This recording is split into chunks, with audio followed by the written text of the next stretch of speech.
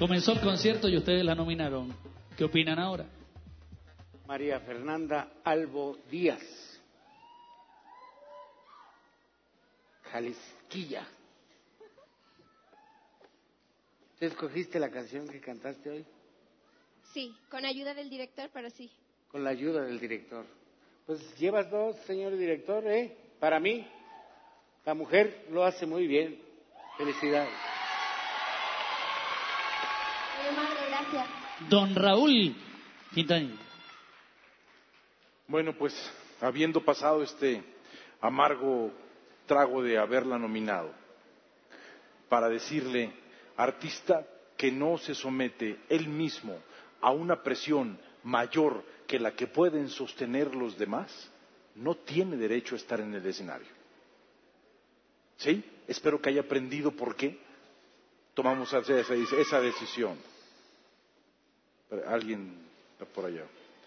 Pero lo que yo vi hoy es la muestra de lo que usted no puede, sino necesita hacer noche con noche.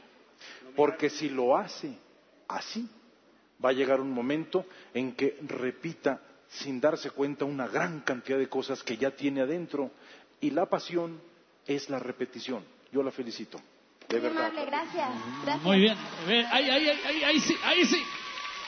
Lisette. ¿qué es lo que más amas hacer? Cantar. Yo te voy a contar rápidamente una anécdota.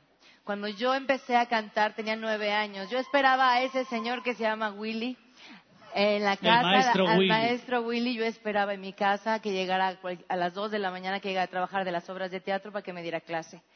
Cuando me puso un horario, me dijo a las dos de la tarde va a ser tus clases aquí en casa. Yo iba a la escuela. Yo llegaba a dos, uno y no me la daba. Y el dolor y la frustración para mí era terrible. Y ahora se lo agradezco porque soy disciplinada y porque eso me ha dado un lugar en el mundo del, es- del espectáculo en todas las áreas. Entonces, yo te doy como tip que tengas disciplina, rigor y pasión por esto, para que lo sigas haciendo así.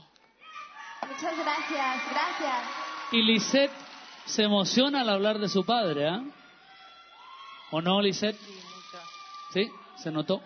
Sí. Gracias. Don Arturo López Gavito. Yo no tengo un pasado musical tan entrañable como el de mi compañera aquí, eh,